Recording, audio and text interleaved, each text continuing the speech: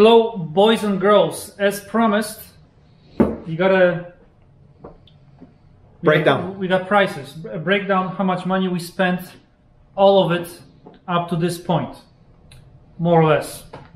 All right, starting with I love it. the the Dream Machine, 1768. That was from the uh, auction, Copart. Right. Copart auction, which Luke found uh, with you know damage and all that stuff, which which has a rebuilt title, No salvage. It salvage title. It doesn't have a rebuild. We gotta get to that point. Yeah, we're gonna get to it.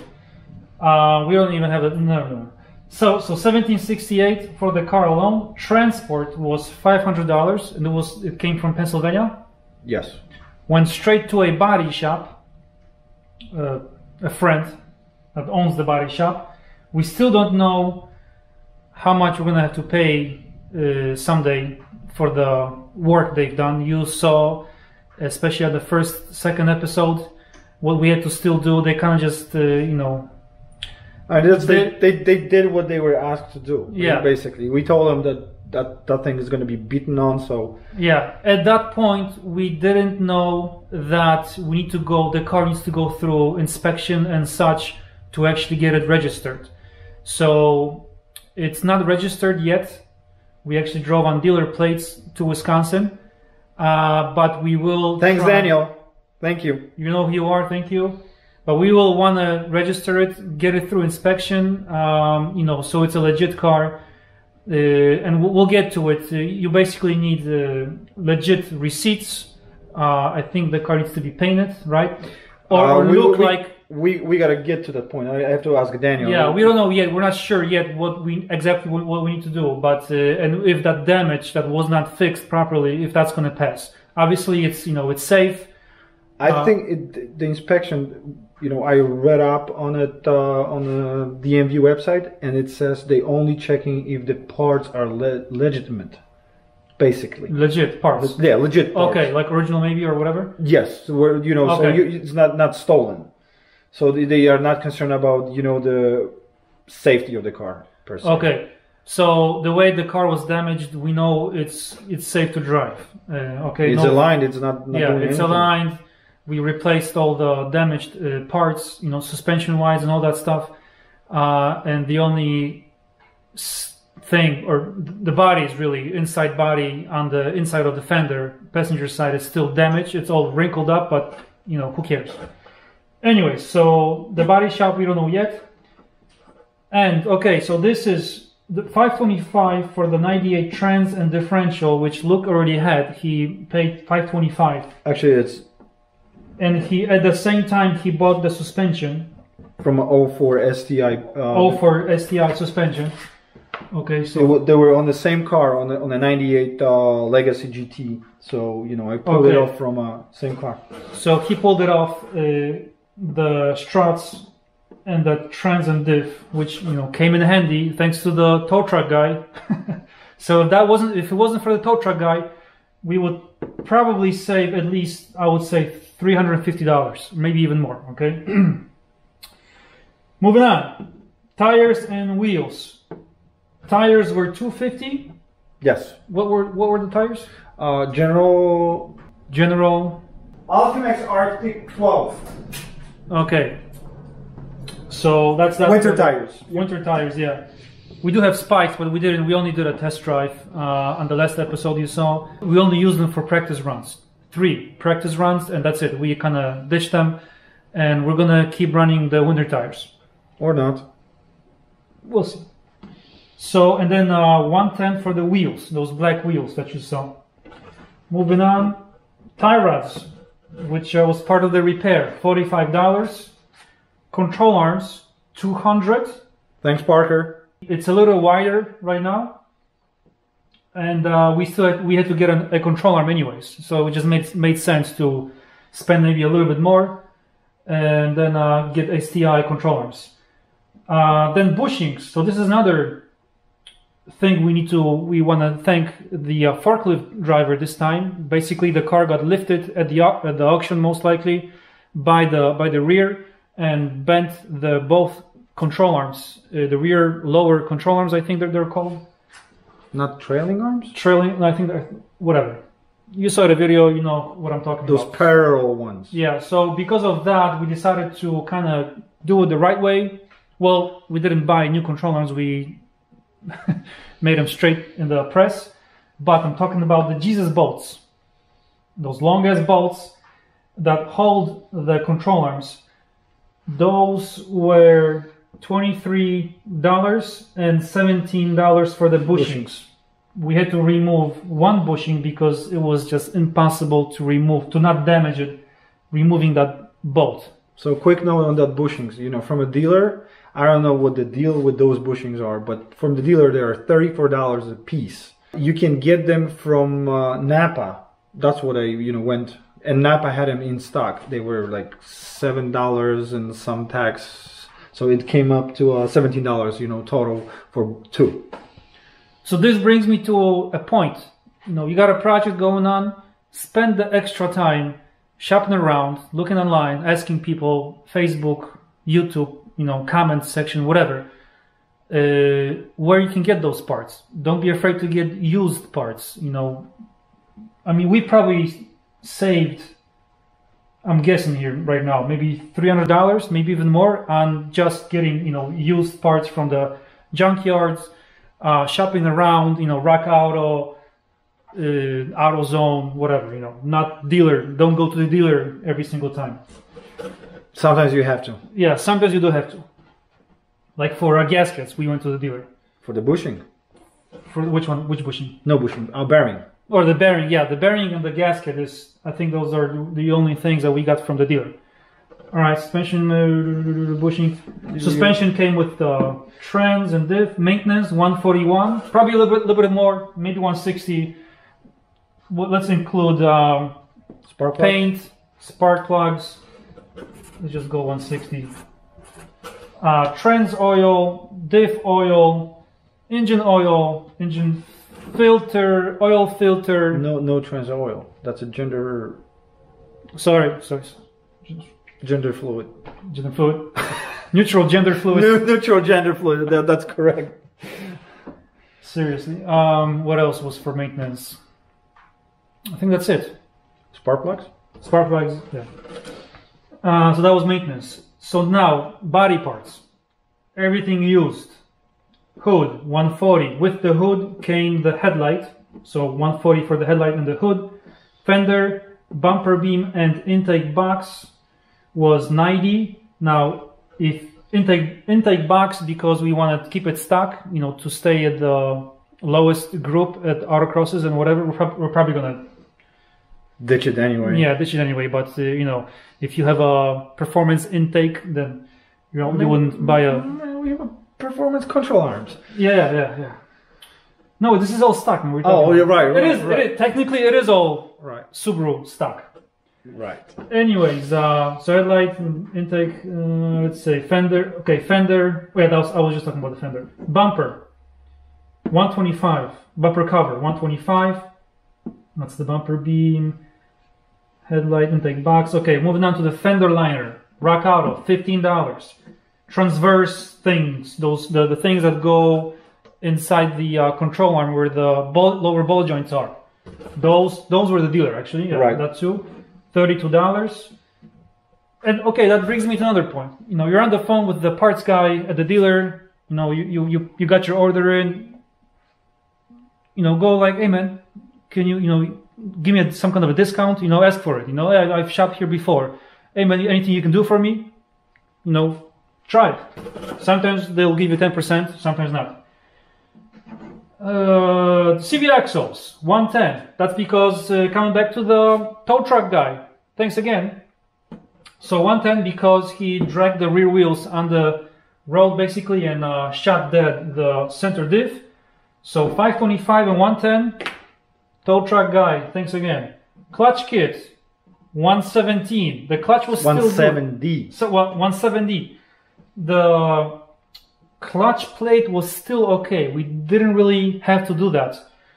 Uh, but because the Ninety eight transmission. Yeah, what do you call that? That that, that, that I, uh, Snout- snout, I guess snout? the snout. Yeah, go ahead. Yeah, so that was wore out pretty bad, and we could have just go with the um, original throwout bearing. Yeah, we But- could have used the one from the 06. But that would cause a problem Yeah. down the road. So we decided to, you know, since we have that everything disassembled, so we decided Yeah. to go with the clutch, and that clutch came with uh, The repair, kit. right? The repair sleeve. sleeve and uh, an oversized throwout bearing. I think that that was a LuK, L U K, right? LuK clutch kit. Yeah, yeah, yeah. That's, So- you got we got to talk about that, man. You running something under the, the table? I- I cannot tell you now. All right, so that decision was made made based on the price. Rock Auto again. The whole clutch kit came from uh, Rock Auto, and we did check out the make, and they're solid. I mean, they make okay parts. If this was say double the price, three hundred, then we- we would probably throw in the old stuff, and it would most likely last this winter. Okay. But still, we, we had to get that uh, uh, Ver- re- repair sleeve? re- repair sleeve. So there is another company, I think it's called PDM. We saw their kit. It looks really, really good. They use a very good bushing. I think uh, NAK. Uh, NAK? No, NTN. NTN. NTN, NTN. some- I think NTN is a Japanese company. by the way. NTN. I think NTN, NTN or SKF. But Really that, was, that was 160, right? But that kit only, yeah, Yeah. for the kit it was Just the sleeve and the throwout bearing. Sleeve and throw up there. Yeah, that was 160. So But it was a little bit tighter fit. You remember yeah, it was where tiny we, bit. where, where, where we were where we were checking them? You know, the, the the sleeve and the throwout bearing, you know, fit a bit nicer. So for the money, if you wanna, if you're thinking about keeping car for long term. And you want to do it properly, I would say go with that uh, 160 kit because it, in the end it will give you a much longer longe- longevity. Okay, gaskets again, dealer 34. Uh, that one bearing that you saw at the rear case of the transmission that was making noise. Now that was questionable. Uh, it still would have most likely last the winter, maybe even longer. But uh, the new one from the dealer, from the dealer, was also had a little bit of play, almost the same amount of play as the old one. But when we took the rear kind of plate off the case, the very rear of the transmission, there were little tiny, ti- tiny little bits of uh, Shavings. shavings. So on that basis, we replaced that bearing, and then uh, that little fix for the remote, the unlock button didn't work, and the alarm kept going off. I decided to. We were thinking of getting a new uh, tra- uh, transmission, uh, a new control Transmitter. transmitter. Uh, I decided to take it apart and see what's inside, what's going on. So I ended up buying, buying a battery for six dollars, and uh, He overspent. Right there. Right there. AutoZone, man, Right, right there. seriously. Right there. Anyways, uh, so that was a free fix, basically. A new remote and programming was would probably be hundred dollars or so. Probably. All right, let's uh, add these up. And and we have uh, some extra costs, but we didn't talk here. What like, was that? Like that uh, messed up uh, socket. Oh yeah, I, obviously, I, I I don't know how much. you know, broken tools. Yeah, the guy who works the most breaks the the most tools. Right. Anyways, this obviously doesn't include tools and labor. Okay, Yep. um, that's We- probably more than all of this. If, if you were to, uh, if you don't, if you don't got a place, then well, good luck with that. You know, you need a garage, especially winter time, to do most of the work. I mean, it, it can be done. You know, using Sure. you, you, you, using just a floor jacks and and jack stands. But man, that Yeah. thing is much much neater. Yeah. So if you're gonna do it, just do it, man. You know, taking up apart the uh, stuff like the diff transmission. You know, it's you got to be some kind of uh, you know mechanically in- inclined, but uh, just get in there, get your hands dirty.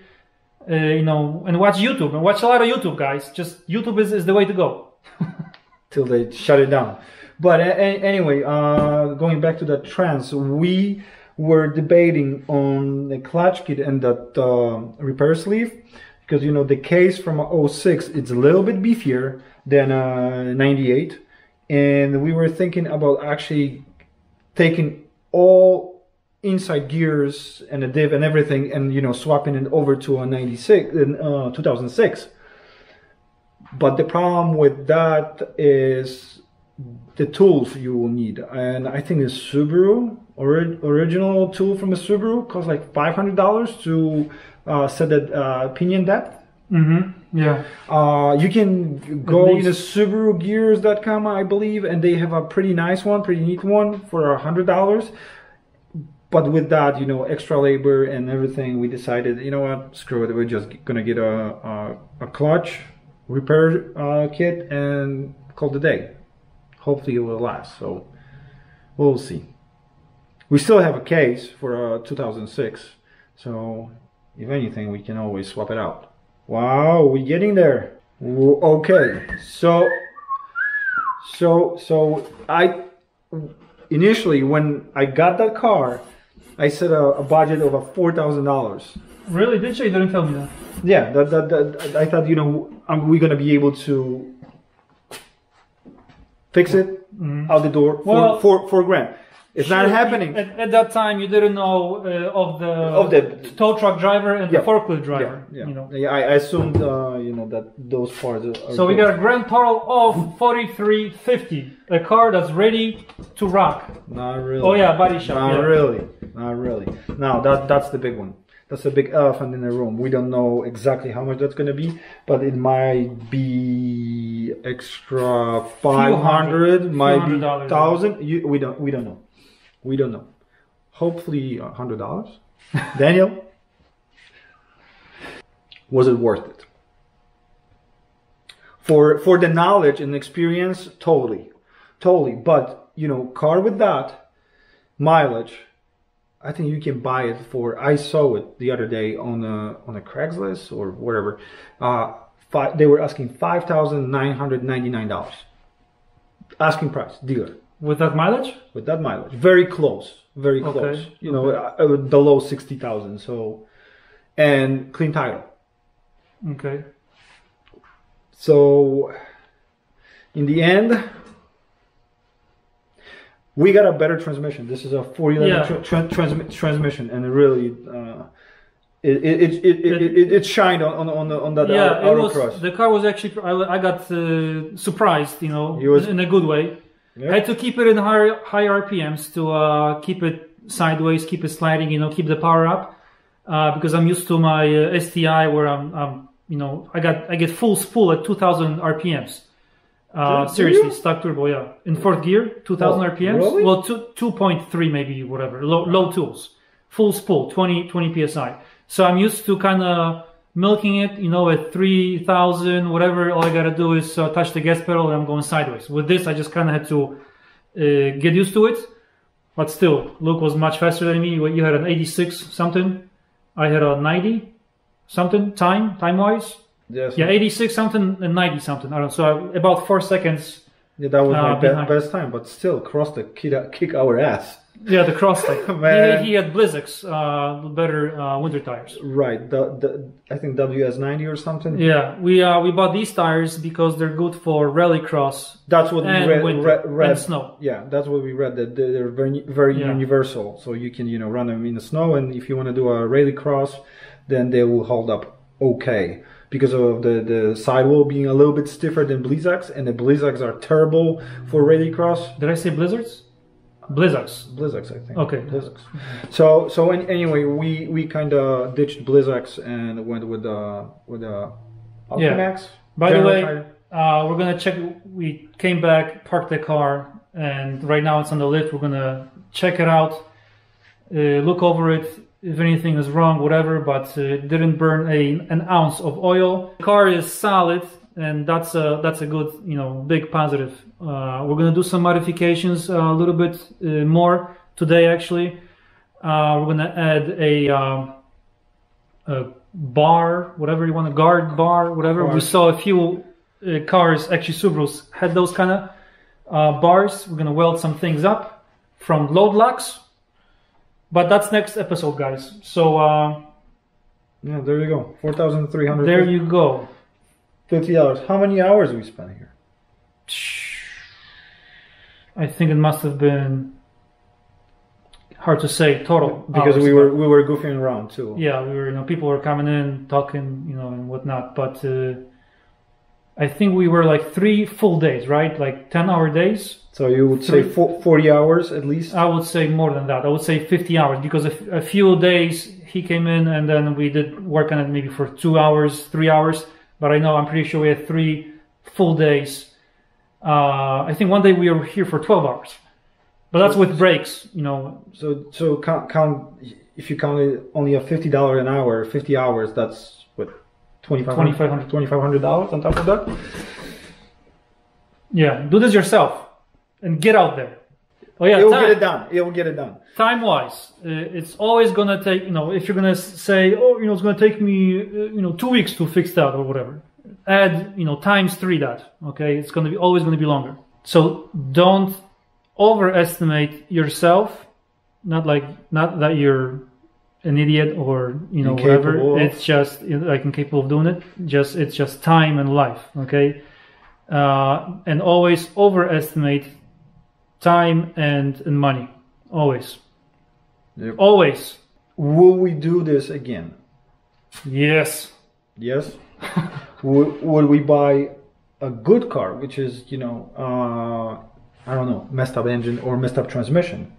Because right, Yes. right, right, right. But I'm, I'm saying uh, you know the good car instead of this one. I mean, this is the, the chassis. That, that that needs to be said. The the, cha- the chassis, man. Uh, I think it, like you you mentioned that it probably cleaner than mine sitting in the garage and yours Yeah. being kept in the garage over the winter. So Yeah. uh, that was a, a, a, Be- besides the used Fender you bought. man it was Ah. supposed to be cheap right but uh if you can get uh, your hands on a, on a cheap car with a damaged transmission for example you can get a jdm transmission for like $500 it comes with the diff but it, even better gearing than this one because it's going to be 444 uh, yeah, this is 411 by the way. The ones the one we have right in there right now 411 and the one that came in originally for the 06 is 390.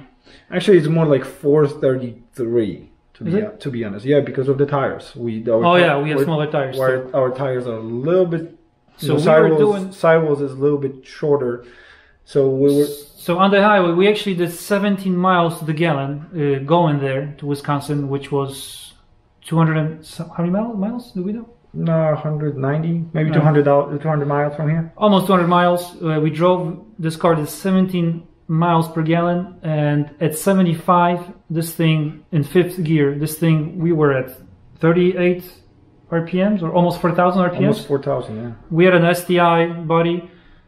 Um, we called him. He was going the same time. He was doing the same speed, and he was at three, 3,200 RPMs in sixth gear. So that was the difference. So 800, uh, 7, 800 difference there. Yeah but, But, that, that, that actually you know when, when you winding up the engine it, it, it falls really nicely right where 4000 sits so you know your power band actually starts ar- around there you know you, your maximum Not than how I cruise it. I'm just saying, you know, and it, Right. it gets loud over there. Uh, you know, with those winter tires and on, on the highway, 4,000 RPMs. You know, it's and the just, messed up bearings.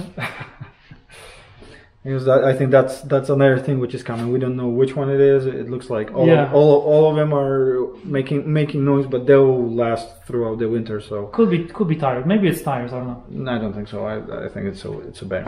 All right, guys, that's it for this one. Hope you enjoyed it. Remember, likes, su- subscribe.